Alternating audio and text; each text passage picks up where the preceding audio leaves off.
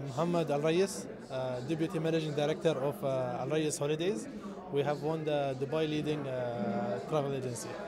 Congratulations. Thank you. Um, most of the names coming through here is are sort of the Jumeirah, Emirates Holidays. How do you feel as, I'm assuming, family company winning an award like this? See, uh, World Travel Award is one of the most prestigious awards, okay? And it's definitely very proud to be one of these big names uh, who are winning these awards. You know, uh, as everyone says, it is the Oscar of the travel industry.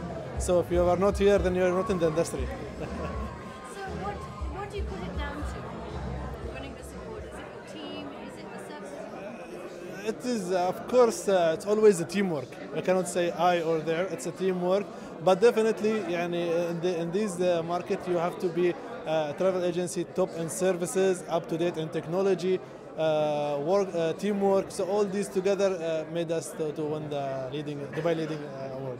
So what do you think your, the reac- what do you think the reaction is going to be like from your team tomorrow when you go in and tell them that you won? Uh, I'm, I'm sure they will be very happy and very excited to know this news.